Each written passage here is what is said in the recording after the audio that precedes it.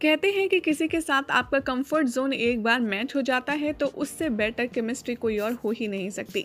ऐसा ही कुछ हुआ है सुमित, मुदगलकर और मलिका सिंह के साथ। क्योंकि ये दोनों हैं शो के लीड आर्टिस्ट और हमेशा से इन्होंने सारे सीक्वेंसेस सारे सीन्स किए हैं एक साथ शूट और शायद इसी का नतीजा है कि ये एक दूसरे को देख भी एक दूसरे को केमिस्ट्री में काफ़ी ज़्यादा अच्छे से ढाल सकते हैं। या फिर यूँ कह लीजिए कि कैसा सीन शूट करना है और उसमें किस इंटेंसिटी के साथ इन्हें एक दूसरे के साथ कैसे परफॉर्म करना है, ये शायद एक दूसरे को देखकर ही भाप जाते हैं।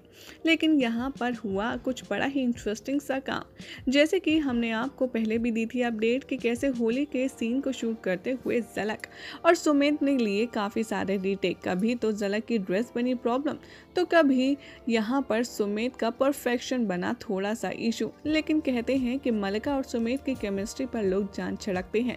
तो जना इन दोनों की केमिस्ट्री जान छिड़कने वाली यूँ ही नहीं कही जाती। दरअसल, जैसे ही सुमेत के साथ में मलिका का सीन शूट होना था, यहाँ मलिका के साथ एक बार में ही सुमेत ने अपना ये सीन परफेक्शन के साथ कर लिया कंप्लीट और जहाँ पर यही सीन शूट करते हुए जलक के साथ हो रही थी कोऑर्डिनेशन में काफ़ी ज़्यादा परेशानी। तो अब आप इसको क्या कहेंगे? एक बेहतरीन परफेक्ट केमिस्ट्री या कोऑर्डिनेशन का एग्ज़ाम्पल ही ना? तो चलिए आप भी देखिए इन तस्वीरों के ज़रिए कि कैसा रहा सुमित और मलिका का कोऑर्डिनेशन और कैसे उन्हें जलक से कंपैरेटिव अपनी केमिस्ट्री को दिखाते हुए फटाफट से ये कॉम्प्लिकेटेड सीन को शूट कर दिया, वो भी एक ही शॉट में।